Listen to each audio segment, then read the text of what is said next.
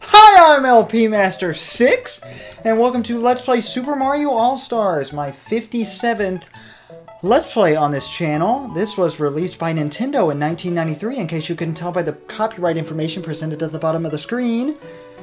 This is also for the SNES, in case you had no idea, but if you had no idea, I'm kind of surprised you're watching this video.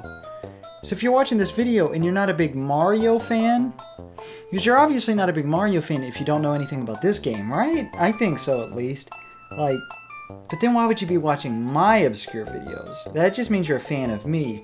And in that sense, I'm flattered, but why would you be a fan of me if you're not already a fan of this? But I'm going to over-explain things like I normally do anyway. So, uh, this is known as uh, Super Mario Collection in Japan. It is a compilation of remakes of the first four Super Mario games, the ones for the NES, made from the ground up for the SNES, new and improved, and it really bothers me that there's no brothers here. It says Super Mario.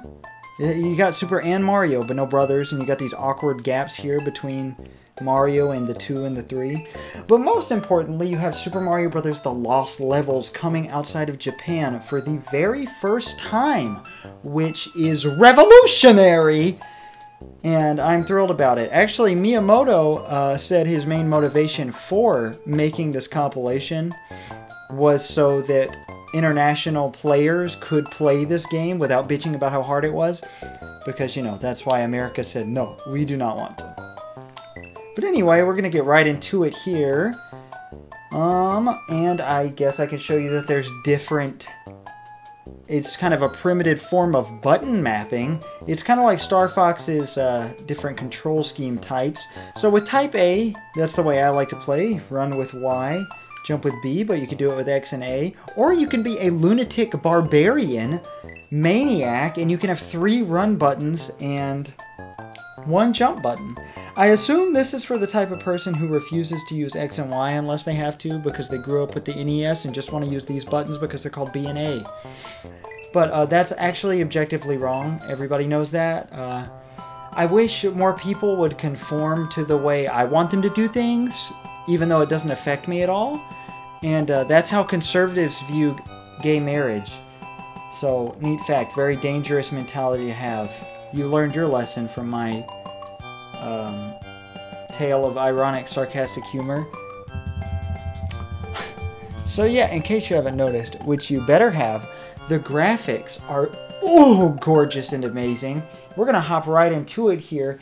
And the music, did you hear that harmonica for the title screen? There wasn't even a title screen song before in the original. But here we are, the age of the future. Oh, and it wouldn't be a classic LP Master 6 video without me singing along. Do do do do do do do do do do do do do do do do do do and instead of the dreary underground music, we get bonus room music to differentiate this from the underground levels, which are dangerous. This is not dangerous, that was a bonus room. Uh, one thing I can't say, oh, I love the parallax scrolling. The backgrounds are the best part about this game. Oh my god. Like, I didn't notice them so much as a kid. As you know, you're desensitized to that stuff. This is, this was really my first exposure to games, was Super Mario All-Stars plus Super Mario World. I know in my Super Mario World videos, where I also say the N word, I say that Mario World is the first game I ever played. It was actually the version of Super Mario All-Stars called Super Mario All-Stars plus Super Mario World, which I will be playing separately on this channel later. When I say I'm playing through every single Mario game, I mean it. I'm thorough. In case you've never seen me before, I'm LP Master 6, and I'm playing through every single game in release order relevant to every series that is relevant to the original Super Smash Bros. Thus far, including the the Mario series, the Donkey Kong series, the, the Legend of Zelda series, the Metroid series, the Yoshi series, the Kirby series, the Star Fox series, the Earthbound series, and the F-Zero series. More coming soon. Oh, that is always a mouthful. I am 100%ing this game, which means I'm 100%ing all four games and doing multiplayer for the games that allow it, i.e. 1 and 3. Neither version of 2 has multiplayer. Oh my god, my ear is so itchy. Oh, Man.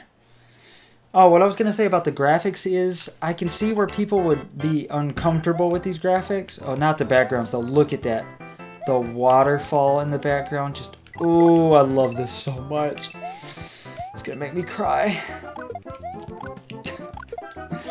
um, but like you look at these sprites and you think none of this is the definitive version of that character or that enemy. Like, that's not the definitive sprite of a Goomba. When you think of a Goomba, you don't think about that nearly. Like, you're more likely to think of the goofy-looking Mario World sprites. Even for Mario, Mario looks goofy in that game, but I still think of that before I think of this. And it's weird design choices, like... I think in an earlier build of the game, they were gonna have Mario have his normal red shirt and blue overalls, but they swapped it. Later, I don't know why. But I think it's really important and really cool, uh, some of the stuff they did. They brought the games up to Mario World standards, right? But they still tried to make everything feel like it was from its original game. Of course, 1 and the Lost Levels don't look that much like their original counterparts because Black Box NES games, uh, while they look okay because of, you know, nostalgia and 8-bit retro feels, you know, oh, it wouldn't be a Mario playthrough if I didn't hit these blocks. Because... No! Oh, I took a hit in 1-4. You gotta be kidding me. Oh, that is so disappointing. But hey, there's Bowser boss battle music. Say that three times fast. It's not that hard. I mean it. Mm. I've earned a drink of water. My wife thinks it's so cringy when I say I'm drinking my water while I do my videos. I can see why, because of the way I say it. But that's a staple of LP Master 6. You can't just not go, oh, I'm going to take a drink of my water. Mm. Ah, you can't just not do that. I wouldn't be me if I didn't. uh, but I think the music, you know, it's not the iconic originals, obviously. It can't be. It's not 8-bit. Uh, a lot of remixes today are either too heavy and don't sound anything like the original. They just sound like remixes. Or they keep that 8-bit undertone that doesn't really set them apart. I think this is the definitive soundtrack for Mario 1. You know, obviously you still listen to the original because it's the Mario soundtrack. But this, I think, is better. Like, for instance, uh, sound design wise, not having the invincibility theme grating in your ears over and over in a coin heaven room like that. Also, those clouds even looked beautiful. This game is so great. Well, smart design choice, but the music overall I think just sounds better. You know, it's like how they envisioned it originally, or by they I mean Koji Kondo, since he was the only sound guy I think for the original. But still, ooh, that just, mmm like this. Look at the water graphic and listen to the water music. And while you do that, I'm going to take a swig of my own. Ah.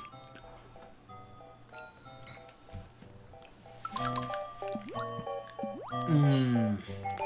That's Aquafina water for you right there. Uh, normally I buy Great Value, but when they're out, I'll buy Aquafina. When they're out of Aquafina, I will buy Dasani. And now you know my water hierarchy. If they don't have those three, don't buy water at all. Great Value is not the best tasting, but it is the cheapest. I stopped drinking Dasani because I found out it's really acidic and bad for your teeth. Well, not compared to like soda, but I only drink water, so... I don't know. My teeth are in bad shape anyway. I guess I gotta be nice to him somewhere. I'm eat I eat like a package of Oreos a day, but as long as I don't drink soda, I'm good, right? Still scared about getting kidney stones. That's for another time. I've given that rant before. This is a new fresh LP Master 6 right here. Uh, yep, now that I've got new equipment and I'm all professional, I'm to start, uh, I'm going to start asking for subscriptions. I'm going to do custom thumb. I actually am going to do custom thumbnails. My wife said she's going to do them eventually. Maybe. If not, I'll eventually be forced to do them myself. Only The only reason I need them is because people just don't click on videos. Or not. I mean, YouTube doesn't show them videos to click on unless there's no other search results. So I gotta get back to having thumbnails. Because, you know, my videos aren't for everybody. I have a very weird uh, sense of interest in what's good. But, you know, as long as people give it a chance, it's alright. It's all good. But I do have a new Elgato... Oh, hold on. I gotta point this out now. The desert background for the Cheep Cheep bridge levels. Now, if you see my old videos, you know how much I love the Cheep Cheep bridge levels. Oh, they are some of the best ever. Because they're just... They're bullshit. and it's great. But they're not too much of, like... Like, um... What's the word? They're not unfair.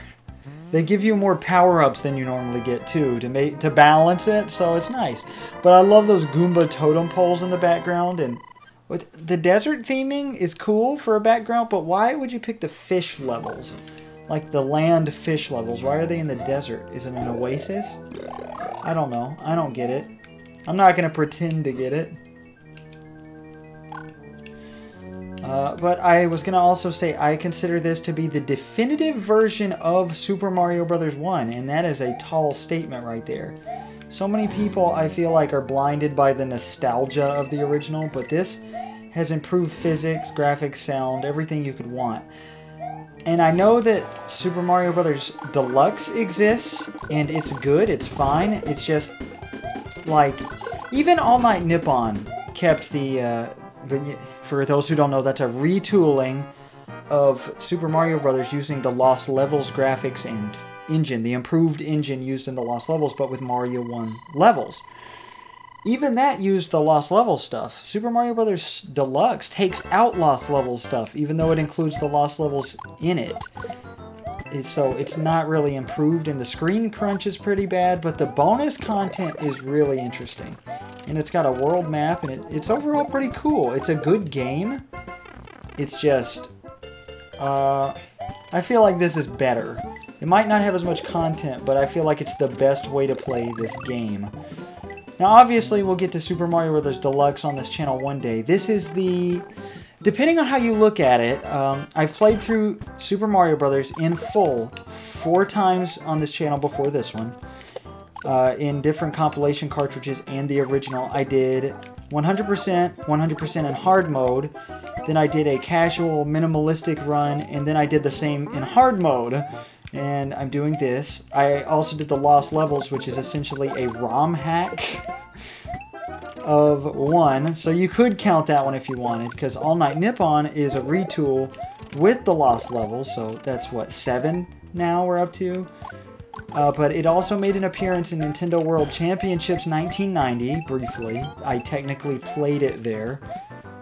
Uh, so that's... That's what, eight appearances of this game on my channel? I'm pretty sure there's more. I counted 10 earlier. But I can't remember.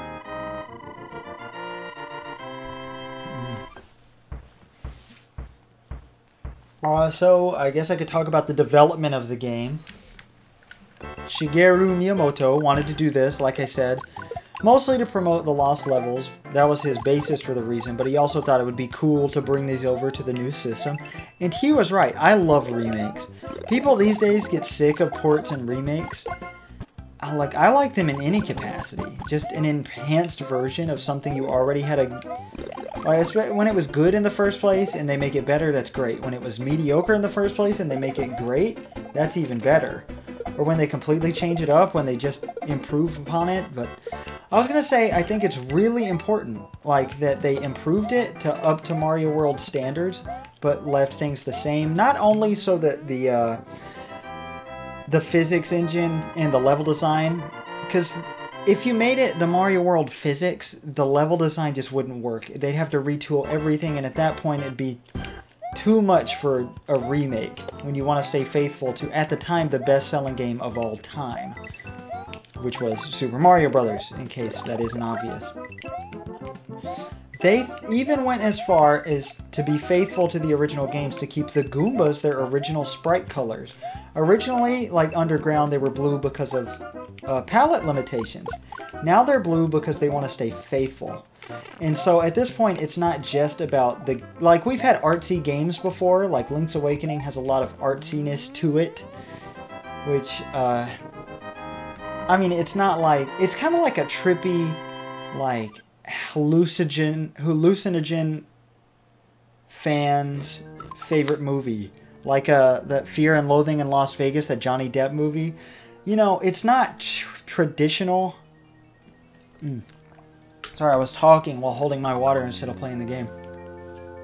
It's not traditional character development or storytelling, but that's still really that's cool. You don't have traditional movie-like stories yet. Uh, just basic fantasy-esque stuff. And they had Earthbound Beginnings, and that's the only RPG I've done on the channel. But there were other RPGs, and those clearly have stories, and all of that I think is obviously art.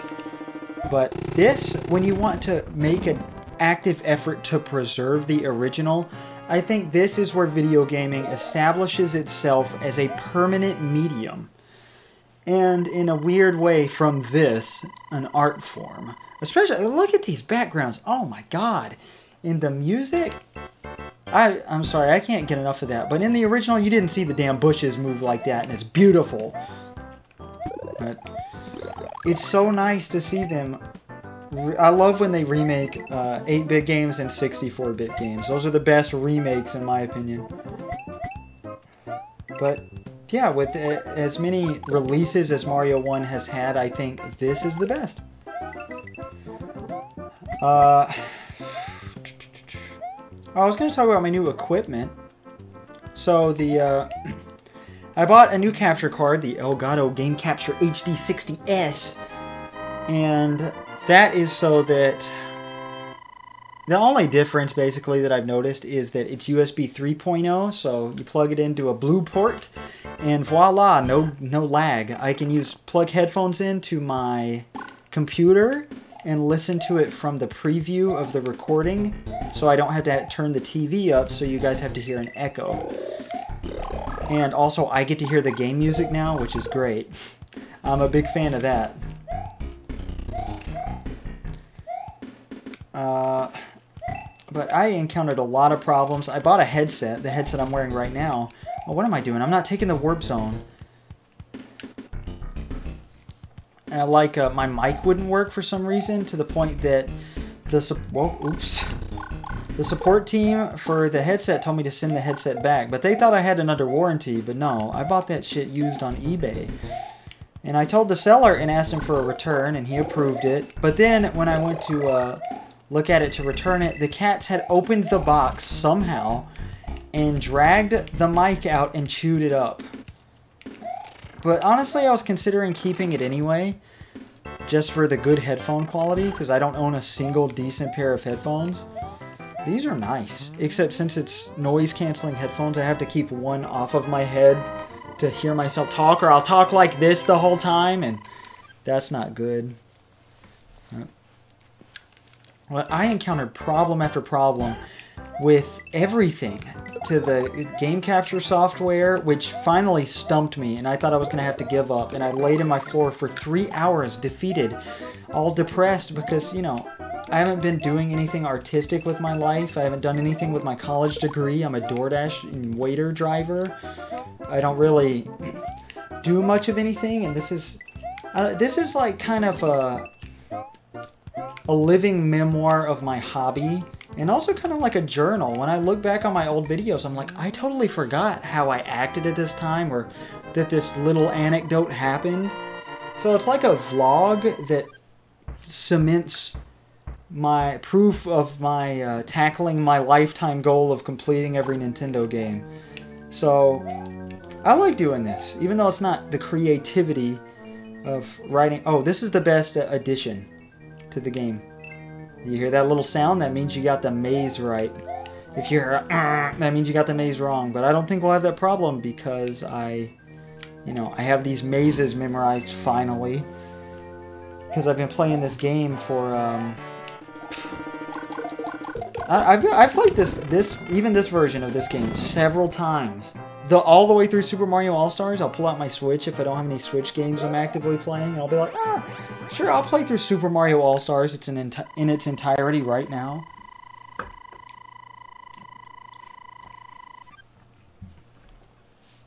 I mean, I've been taking a lot of hits because I'm talking, but I haven't died yet. I've gotten pretty good at Mario. Mm, I mean, not to pat myself on the back, but I, you did see me beat the lost levels, and oh, I was gonna say, you know, this this hobby isn't the same as, you know, I've been saying I'm gonna write a book, but it's not the same as that. It's not the same as writing a song. This is obviously not. I mean, you could say it's an art form. I'm not gonna argue with you. There's no point in, you know, saying, oh, this is an art, like fucking Roger Egbert or Egbert or whatever the hell his name is. That guy who kept arguing till the day he died about how video games weren't art. That's so stupid. Like, why, why does it matter? Uh, you know, I'm thinking I am going to write a book. When I found out, or like, my friend Galen uh, keeps telling me, like, when I tell him my dreams, he's like, you should write a book. And plus, the way I think, the way I talk, and the way I act are really weird. so I, I think I'd be good at writing a book. But I don't know if I want to write something serious, because I feel like I started writing something, a journal, kind of an autobiography sort of thing. Just, I didn't intend to publish it. Actually, I did uh, intend to publish publish it after I died. That was my goal. And I had this, I decided to do this weird experimental writing style of telling different stories back and forth that still connected thematically, like my dog dying and like modern troubles with friendships and whatnot, and then it just, uh, you know, it was interesting. And that was right before I read Slaughterhouse 5, like the day before. And then I found out it, he did, Kurt Vonnegut does the exact same thing. Really good writer. I don't know why I didn't read him earlier. That type of weird writing. But it's not that interesting to talk about books forever. I did a million takes of this all day. And before this, for the past like five days, I've done different tests to try to make this work. And the things I've talked about are just ridiculous. So if I talk without monitoring what I'm saying, like I went on this rant about how I went dolphin riding with my best friend Gabriel Iglesias, and here he is, folks. Hey guys. I'm not gonna do that. That was a joke I had when I tried to record something with my friend Drew the other day, because he did this accent that sounded just, uh, just like Gabriel Iglesias, who I'm not a big fan of, by the way. Like he's a stand-up comic that just tells like average stories, but he has these stupid sound effects. Uh, I mean, he's not the worst. Uh, I don't know. It's it's this weird effect I've noticed where if you're listening to a stand-up comic at home, you're not gonna laugh nearly as much as if you're sitting there. When you're sitting there face to face and you spent your money on a ticket, you're more likely to laugh. It's kind of a uh, it's kind of to play uh, against your insecurities actually psychologically because if you it's like buying a movie ticket. When you're in the movie theater, you're going to like it better than if you pirate a movie at home. Because you've spent your money on it and you'll just depress yourself otherwise. I can't remember the name of that, but there's a name for that phenomenon. For those who don't know, I have a degree in psychology, a bachelor's of arts. Bachelor of arts, not bachelor's. Gotta be technical. Oh, how long have we been going? Um, I'll pretend to cut it here. I'm not actually going to split the video file, but I'll do that thing where, you know how YouTubers these days just have to have outros for whatever uh-huh. reason? I don't get that. Like back in the day when you could only have 11 minute videos, it was okay to just the video stop and then start again without an intro and an outro. I, I don't get that. But Next time on Super Mario All-Stars, we are going to wrap up Super Mario Bros. 1 single player. I'll catch you next time. I'm LP Master 6.